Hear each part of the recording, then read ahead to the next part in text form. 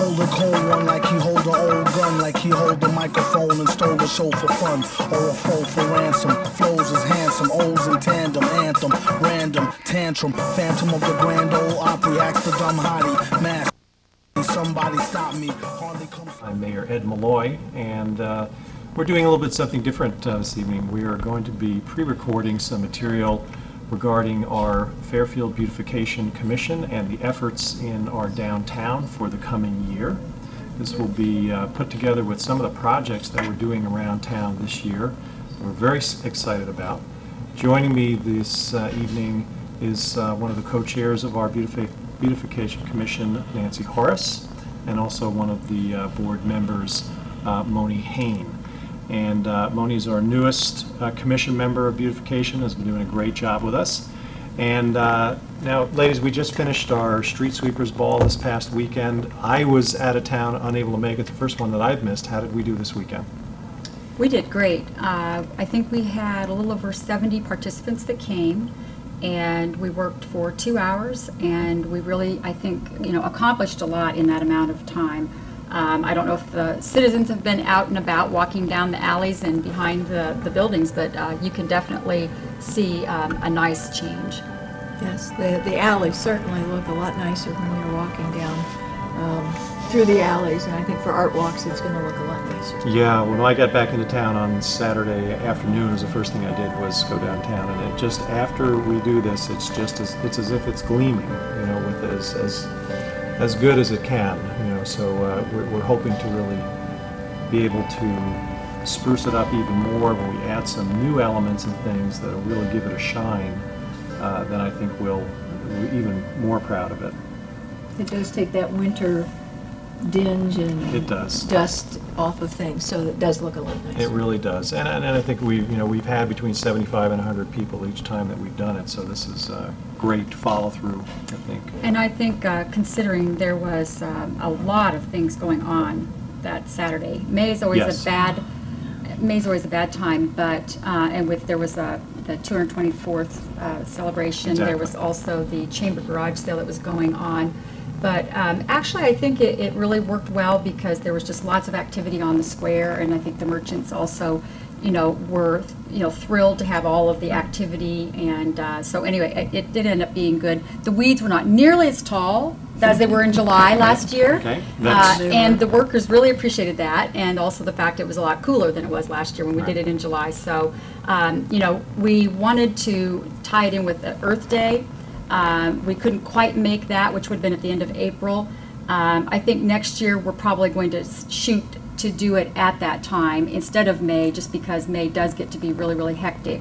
Uh, And people really did enjoy the fact that it was a lot cooler than what it was last year. So we'll maybe try to coordinate that, and uh, so if there's any citizens out there that want to maybe help next year, uh, put that date on your calendar. Good.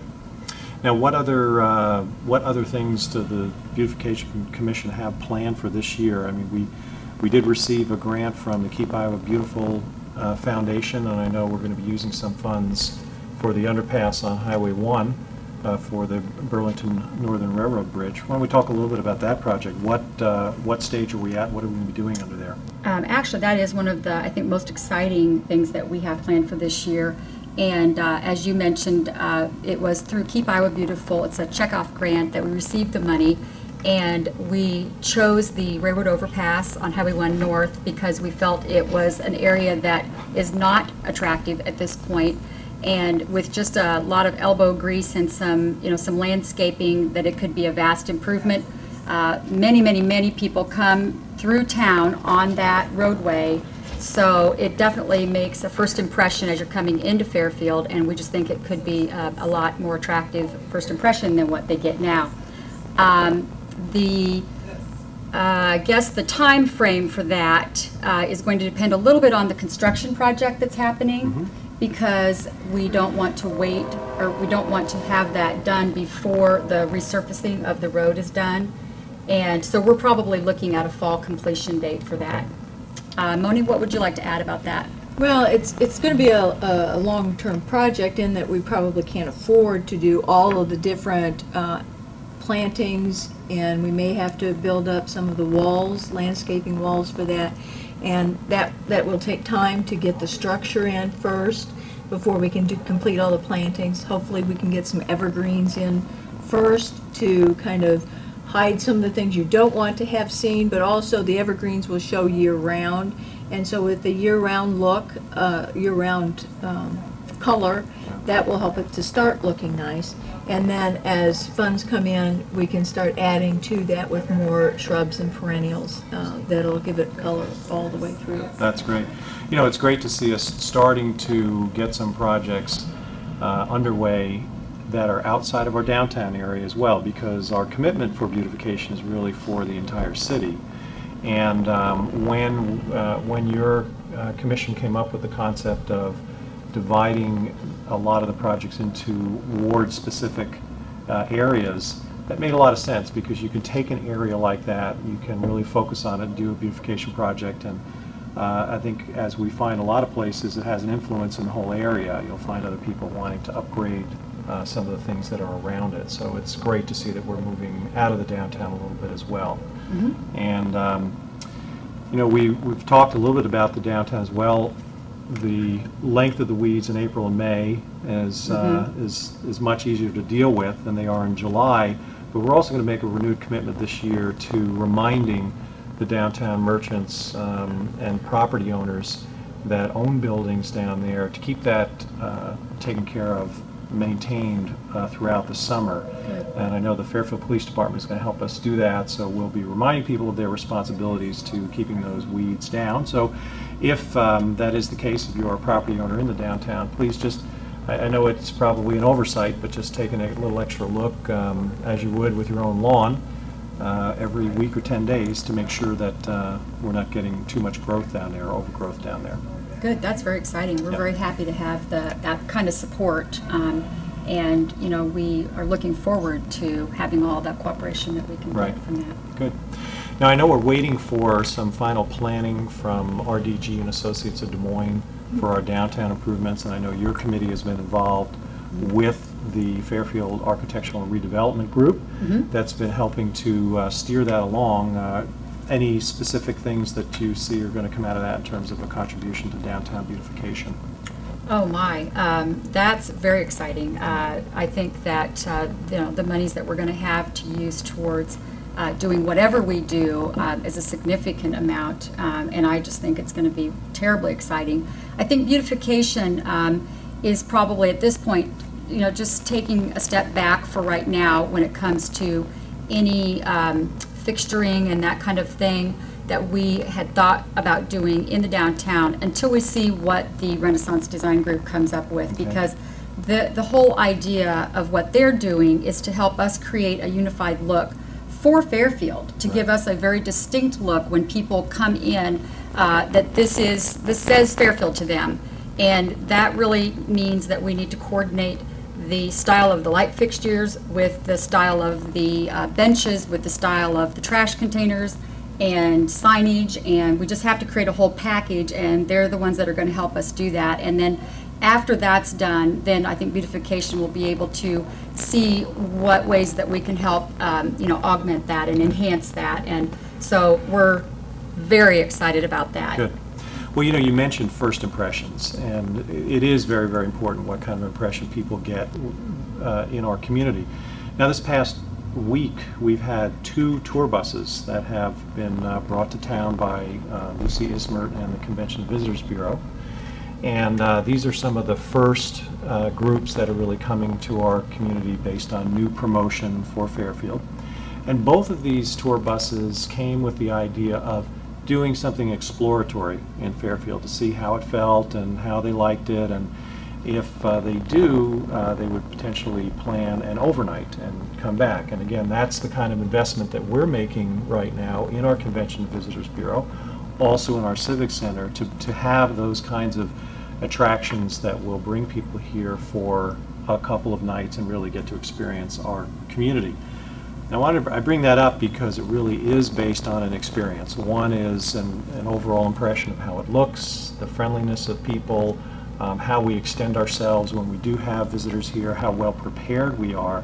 This is all a very big part of it, and we're all partners in this. And I think that this is the kind of discussion that we're going to really have on an ongoing basis to see what roles we all play in creating that overall good experience for Fairfield. Because that's, that's basically, if we're serious about attracting tourism, then we have to be serious about creating something that is a, you know, very high-quality experience for people when they come. Otherwise, it'll be somewhat interesting, I've been there, done that, uh, you know, maybe they don't give a recommendation to other people, maybe they don't come back, but the more we do to create that uh, beautiful environment and also to create the service around um, what it is that we have to offer, uh, the more we're going to get back. So, um, good. Well, I think what we'd like to do now is uh, take a walk uh, into our downtown. I know you're getting ready to do some of the plantings in your, uh, in the the pots that uh, we purchased last year with uh, some dollars that the city gave for beautification. So uh, why don't we head down there? Okay, Oh, great. Thanks.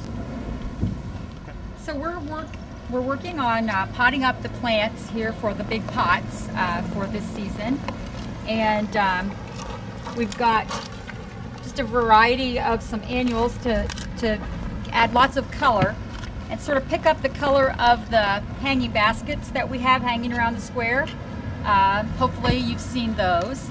And um, the one thing that we wanted to talk about is the fact that this is all uh, planted with just volunteers.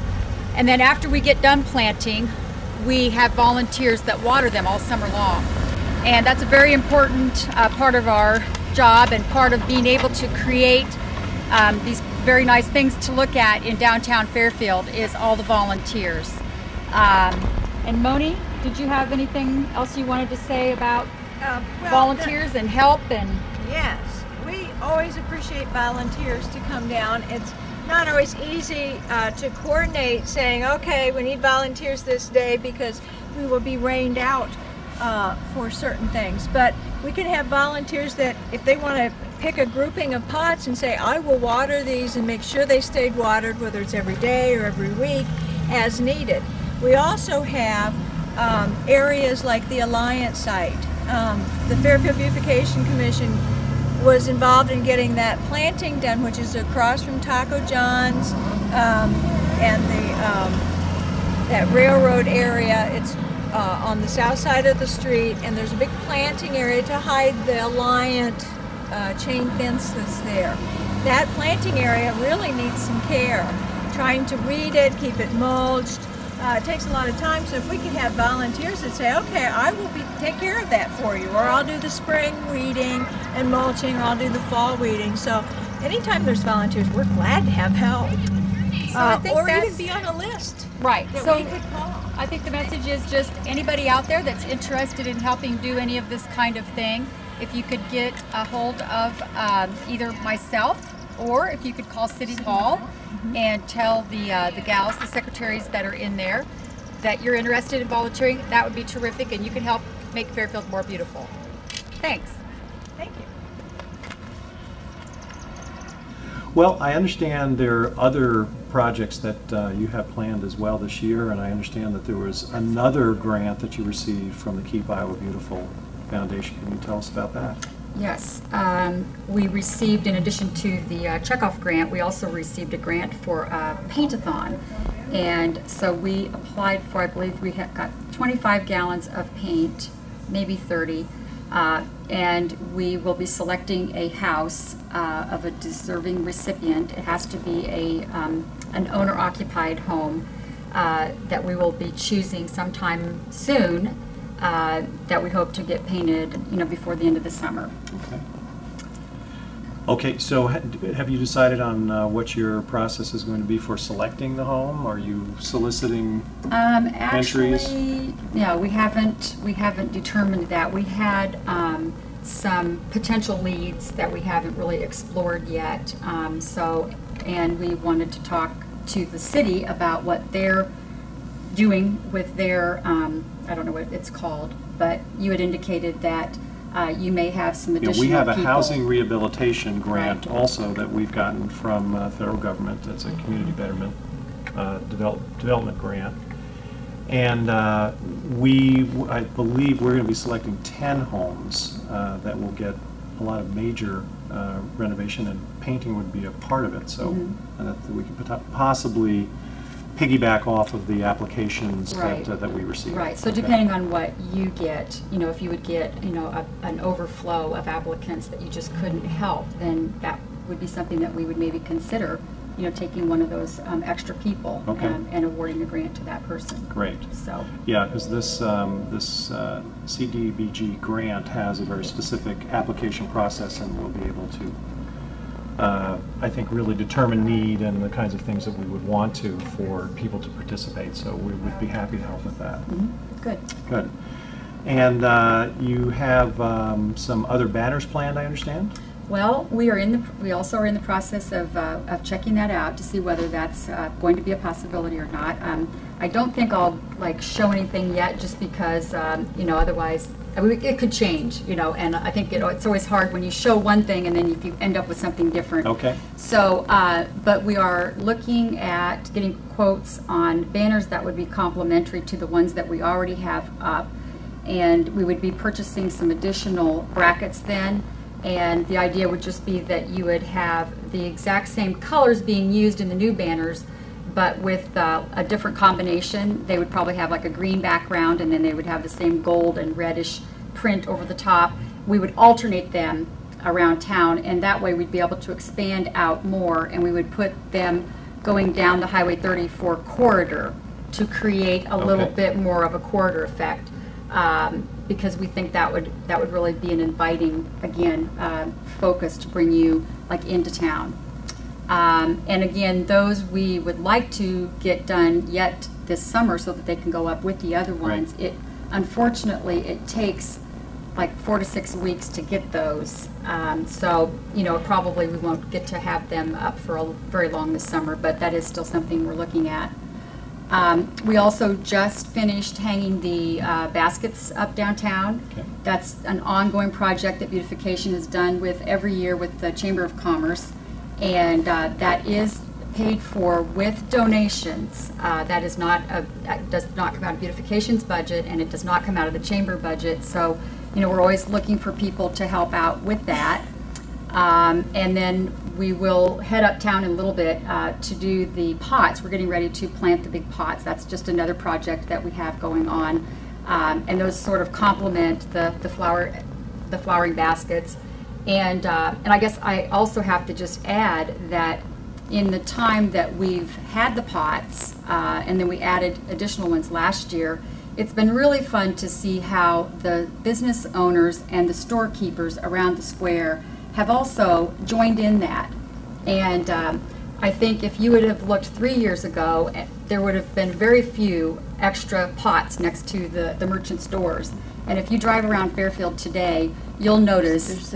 Many of the shopkeepers had, have added benches and, uh, and flowers to the fronts of their stores. And I think that's very exciting. It just, it does show, you know, that it's contagious and that's what we want to inspire people. Um, that's beautification's, I guess, um, that's sort of our motto is that your if we can- role, in a If we can, yes, yes, we want to inspire people um, to, you know, to do a better job and to, to make Fairfield a, a, a nicer place. It does work that way. We've noticed there have been some really um, nice uh, transformations of buildings in the, in the downtown square over the last couple of years, and I think that when we see someone really take pride and ownership in their property, then uh, others really think and plan to do the same thing. So, uh, yeah, it it really does build on itself, so it's, uh, it's, it's a great thing. Um, Now, I understand you have some other planting projects uh, as well. Yes, and if Moni's Mon- comfortable, maybe I'll defer to Moni um, about the Quest project. Have you seen it, Moni? I have not seen the Quest project. Uh, The Quest uh, teacher at the middle school uh, has worked with her students to do a landscaping project at the middle school. And some of that comes from the wards, uh, trying to take, you know, do some work in their particular ward areas. And the ward that the middle school is in, I don't remember what number that is, the ward that the middle school is in um, has decided that the Quest, these, these students that are in the Quest program at the middle school uh, would go out and do the planting. And I understand it just got finished um, in the last day or two, so I have not seen it. Uh, They were out rototilling last I saw, uh, and it, that it really looks nice. So when you go past the middle So school. we think it is planted then? Yes, Yeah, it's Well, done. good, I think maybe it's we can get planted. some food- footage Yeah. for that. And they were supposed to be putting in that some perennials and maybe some shrubs also to make it a long-term, not just some annuals for the summer, but something that the students can come back and see Right. in the fall that they did in the spring. It'll be there in the fall, and next year, you know, they come back after they graduated years later and say, oh, I helped do that. That's great. So- Now, was that inspired in any way by your committee, or is it something that Oh. came from there? It was, yes, um, actually, somebody on our commission, one of the gals that's on the commission, lives in that ward, and um, her daughter, I believe, is she in Quest? Somehow she, remember. Don't somehow her. she coordinated it with the Quest teacher. Okay. That this would be a, a good place to use that ward money. Oh, great. So it was the, the money from that ward that was used for that. Excellent, excellent. And we've allocated about how, how much per ward for uh, projects? It was four hundred dollars. $400 per ward, correct. Right. Do you find that all of the wards are taking advantage of that, or are we? No, okay. they haven't. So we can, we can put the message out to, uh, to people out there at some of the other wards. That would be Fifth Ward. So right now, we have dollars uh, in probably first, second, third, fourth, then. Well, that- some- Or some of it would be designated. Yeah, to- some of it has been spent Okay. uh, from this last year, Ed. Okay. Okay, so, um, you know, we would be talking about for next year's budget probably Right. at this point. Okay. Um, Another project was at the Little League Diamond. Go ahead, Yeah. O'Neill. Um, At the Little League Diamond, uh, right along 34, at the corner of 34 and Glasgow Road, uh, they did a planting of some shrubs in there, uh, so that, that's on the north side of the ballpark. Uh, That was last year's project. They're hoping to then this year also add in some more things around the buildings. They're continuing to expand the, the parking lot, and so they've asked to also then do some more plantings in that area, um, so that uh, perennial or Right. things that will be there long-term. Right. Um, And so they were gonna use some of that money then, the, the- the next year's the, uh, fiscal year, dollars to upgrade that. We have the uh, state uh, Little League tournament here in July. Correct. And so they were hoping to get some of these plantings in place to make it look really nice and beautiful. Absolutely. So that we can bring them back again. Right. Right. So Excellent. it's another thing Fairfield's doing, and if we can help beautify that to, as you said, build on it and bring back. Great. That'd be great. Has your commission had any other discussions about either a tree or a flower that would be used as a theme for the city of Fairfield? I remember when we first formed the commission, we, it was one of the natural things that came up first. And um, there's, everybody staked out their territory in terms of what flower they thought would be. Uh, But has, has, have you had any other discussions No, about that? that's, um, we haven't had a discussion That's since I've been on specifically. No, no, we have not had a discussion specifically about that. Um, However, the Beautification Commission has been using roses Mm-hmm. on our postcards, on our award signs that we give out, which, by the way, is another thing that we've been doing um, this last year, and we're going to continue to do this year, is we give out these beautiful uh, signs that are made out of a stainless steel that were made by Creative Edge that have a rose, and it says the Fairfield Beautification Award. Uh, And also, I'm seeing a little card here. Um, Just so happens, Yes. this is the uh, artwork that Susan Kessel gave us, and we've made these little postcards that we send to people when they've done a great job. Um, So we have been using roses, and we call this particular rose, this particular award, Roses and Thorns. Of course, we're all about the roses, not about the the thorns. The Right. thorns just sort of come with the roses, Right. unfortunately. Um, But no, uh, as far as anything further than that, we haven't done anything. Okay. I, I guess, you know, I hadn't really thought of it much myself since those initial discussions, but I have visited some cities where, with trees anyway, um, didn't necessarily pick one tree, but they found that, that certain boulevards would be one tree and another another, so if there were several, that was a way of accommodating people that had interest in, in several different trees. We would love to see, we would love to see uh, more flowering trees, you know, throughout Fairfield. Right. Um, We would like to do a bulb program, uh, and that will be something that we will probably consider uh, this fall. so that we will have bulbs next year. Okay, Um, But, you know, those, we would love to see something. great. Well, I think you're doing tremendous work. Uh, You really, really are. I'm I'm very, very happy with this committee, very proud of the things that you've done uh, in this first couple of years. And I know that it really has been the efforts of a small group of people, but as this sustains itself and as the continuity of it continues, I think we're going to see more and more community involvement and probably really get to those kinds of decisions as a community, what we really want to establish for a long-term basis. And uh, also, it sounds like uh, you've got several years' worth of uh, work ahead of you, so Yes. um, I know that you're going to be busy. Really do appreciate your support and really do appreciate your time this afternoon for our Inside Fairfield program, and we look forward to all of the fruits of your beautification work this summer. Thank you very much. Thank you. Hold a cold one like he hold an old gun, like he hold the microphone and stole the show for fun. Or a fall for ransom, flows is handsome, O's in tandem, anthem, random, tantrum, phantom of the grand old opry, act the dumb hottie, mask. Somebody stop me, hardly come sloppy on a retarded hard copy. After rocking parties, he departed in a jalopy. Watch the drop top poppy, known as the grimy, limey, slimy, try me, blind me. Simply smashing in a fashion that's timely, mad, really dashing in a beat rhyme crime spree. We rock the house like rock and roll, got more soul in a sock with a hole. Set the stage with a goal to have the game locked in a cage, getting shocked with a pole. Overthrow it like throwing Rover a biscuit.